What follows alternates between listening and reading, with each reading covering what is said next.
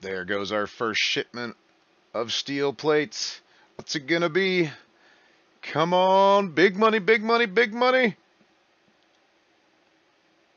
16,000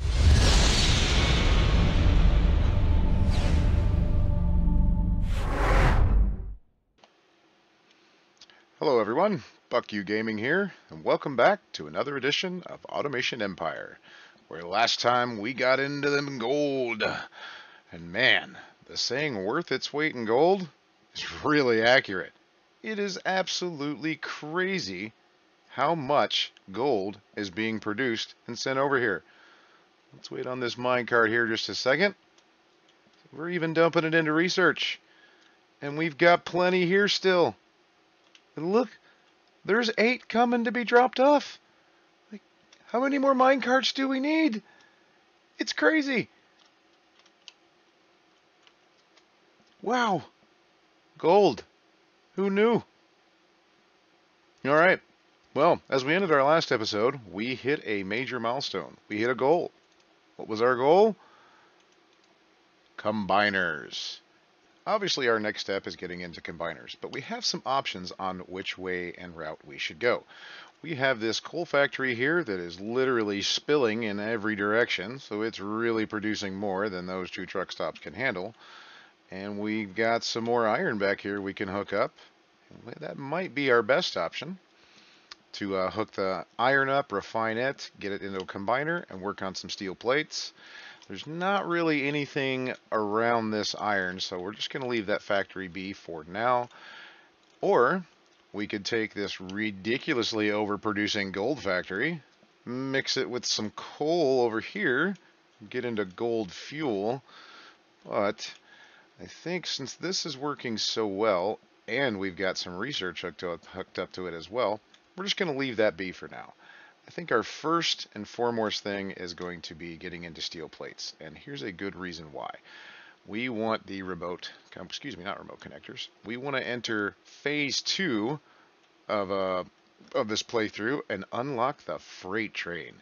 Oh man, the freight trains are nice. You can say bye-bye to crate makers, but let's not get too ahead of ourselves. Our first and foremost goal right now is getting the remote connectors because we can start using these combiners but they're not as effective without the remote connectors.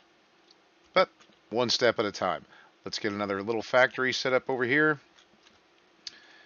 Uh, get some more mining rigs down. Okay, you know what needs to be done there.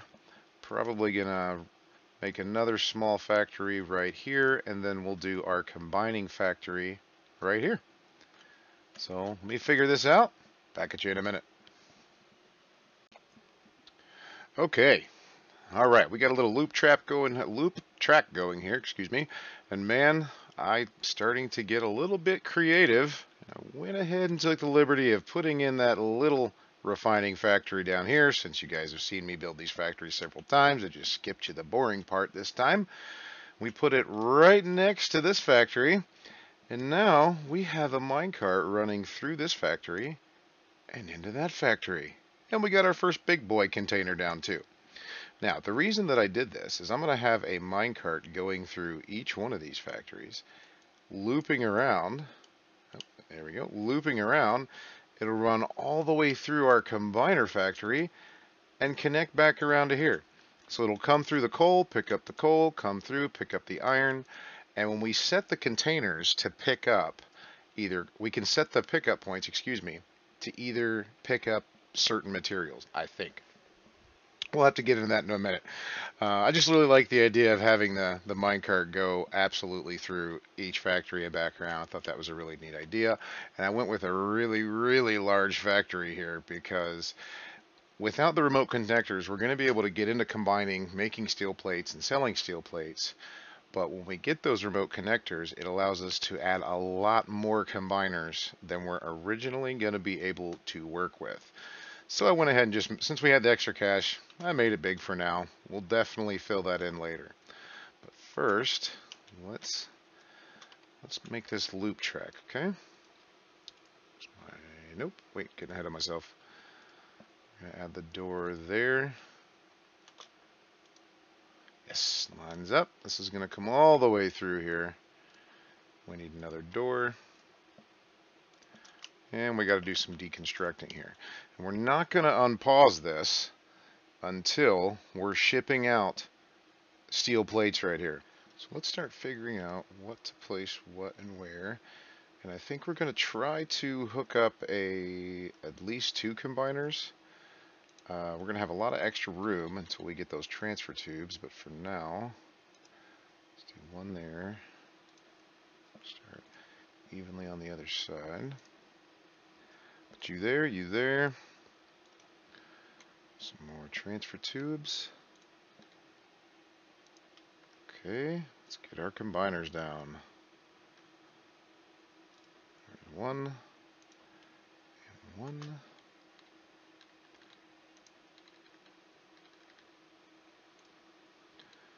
One coming out, coming out. Another there, another there. Spin things around. We need another one of these.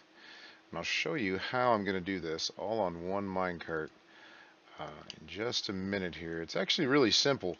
Um, I wish we could hook up more of these, but they actually do produce a lot. The last time I messed with them, I think it's been a little while, but it's kind of like they take, you know, we're going to have iron in here, coal in here, and since we're putting one and one, it's going to spit out two. So it's gonna it's gonna seem like it's overproducing, but it's not. It should be fine.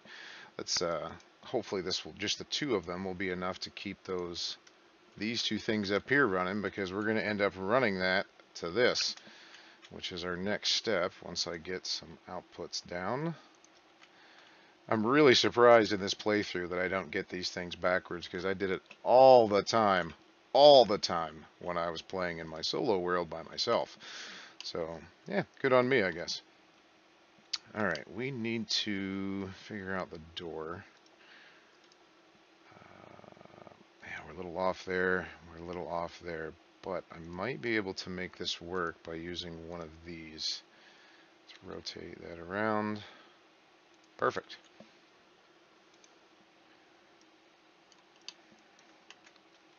Uh, where'd you go? There you go. Okay. Now we're not going to make this a loop track, so we may have to either extend that back around for now. Remember, this is all temporary. We're just trying to produce some heavier products so we can get to that kilogram mark of, what was it again? 9,000 and we're already at 6,900 so we, it's going to take us a little bit of production.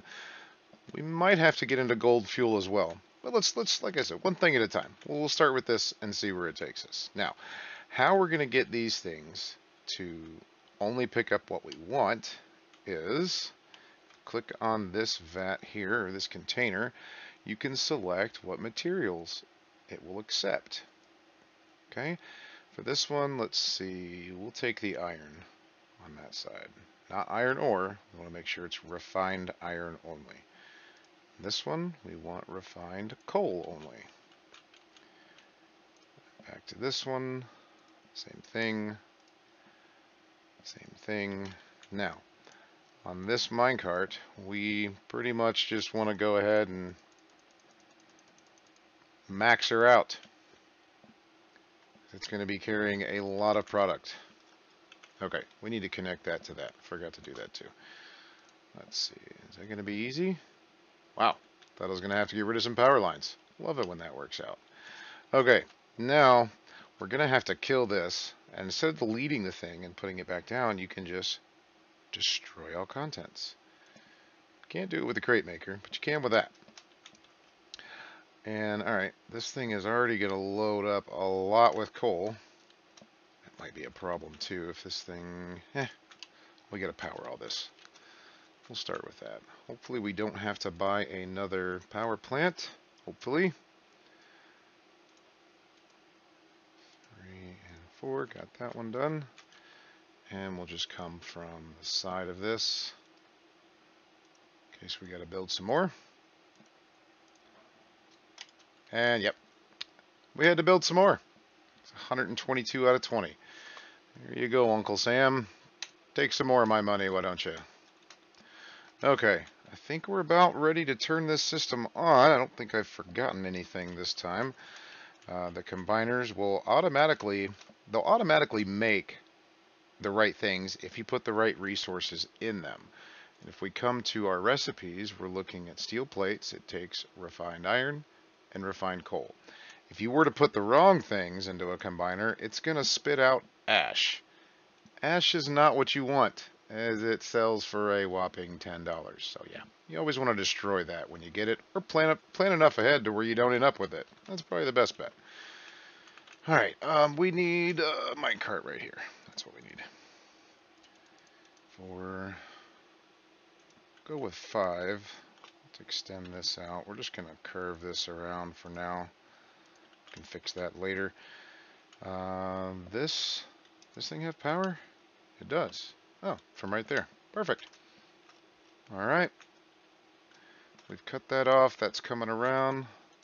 Let's fire it up. See how it runs. These things are, it's got to make its loop. I think part of the problem that I wasn't realizing before of why it needs to pass by these things is if you if you're doing it like I have and you had it paused and then you just power them on, it takes them a little bit to actually collect enough stuff to put in a minecart. So voila, mystery solved, right? So simple. Okay, let's uh, do that out a little further. Mm, that one's enough. Okay, we got some iron coming in there. This thing should already be, look, look, look at all the coal. Look at all the coal. That thing is just crazy production. You might notice I added a little bit to that as well, just because I saw it backing up here. Uh, and I also, before I get too far ahead, I wanted to show you, I made a little bit of an error on last episode uh, in my rush to get this factory. I had all of these things going onto one conveyor belt and one vat. And I realized that, man, that system was really bad and it was really getting jammed up. So may have been why this factory is producing so much as it is now, is now each set of three refiners has its own drop-off point and crate destroyer. And it just worked out. It made things it made things so much more optimized and like literally the gold is just spilling everywhere. It's it's it's full there. It's giving me research. It's still full there. I've got like 11 mine carts. It's crazy. It's crazy. Hopefully we'll be able to do the same thing with steel plates. Alright, so we got tons of coal. We're just basically waiting on this to get going. And I think this is our first load of the new iron coming in now. And we're going to kind of expect this to happen. And ugh, hope that doesn't happen too much. Because we, we got to have some room to pick actually pick up the iron. Because this is running off of 5, and this is only running off of 4, so the coal's going to be a little bit faster. The good thing is these are not picking up any of the coal, so we've set those right. Okay, those are still going good. We've got some iron here. Here's what we're going to do. Um, we're going to destroy... No, no we're not. I was going to destroy some contents, but there's enough. There's enough there. It'll balance out. I don't think we'll even fill those four right there. All right. Nope, only got two. So now we should see our combiners start to work. And working the combiners are. In fact, they're working so hard, they literally cannot keep up. But that's okay. Hope we're hoping that with the output that we have right now, we can hit that kilogram mark and redo this whole system. So let's skip ahead and look into the future just a little bit and see if we get there. Look at that. Oh, we just made it. Oh man, I had to let three whole months go by to get those trucks moving, get them dumping off that precious resource, and now our record three month weight output is 9,246. I also did one little upgrade that I forgot to mention in any of my previous videos. Just beside the research tree here is something else you can spend your precious, precious research points on. Ooh, that's a tongue twister. What I've decided to do here was increase the truck speed all the way. It was fairly cheap, only about 50,000 research per upgrade. And what that did is you can see we have empty trucks again because they're just coming at absolutely ridiculous rates now. But what that got us was up to 9,000 kilogram mark. So definitely worth the investment. At one point, I thought I was going to have to go over and start mixing some gold and coal together for gold fuel, but I'm glad we hit that mark. Uh, now I can mess with that later, and we just need to start collecting a little bit of research so I can get some research points and unlock those uh, remote connectors, and we can completely redo this factory because these two little combiners are struggling to keep up with what we've got going on here. So, 178,000 I uh, research points. I think I need 500,000 to get there. Man, this episode's going well. We're progressing nicely. Let's collect some research and we'll get into those remote connectors. Can't wait. Well, it looks like we are going to have to wait. Because as usual, I get so wrapped up in making this content for you guys, and this game is so much fun that I always lose track of time. It's not the first time, and it probably won't be the last. So make sure you tune in to the next episode where we get into those absolutely amazing and game-changing remote connectors. I can't wait to show you guys. But as always, if you liked the video or found any of this useful, make sure you hit that like button. Subscribe to see future content. Leave me a comment down below on what you thought of this video. As always, guys, thanks for tuning in. We'll see you next time. Be good to each other. Bye-bye.